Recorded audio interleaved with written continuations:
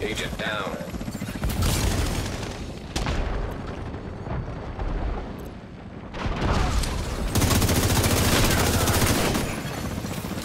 Unusual energy signature detected. I've never seen readings like this. Looks like it's coming from the terminal. Get in there and see if you can pinpoint the source.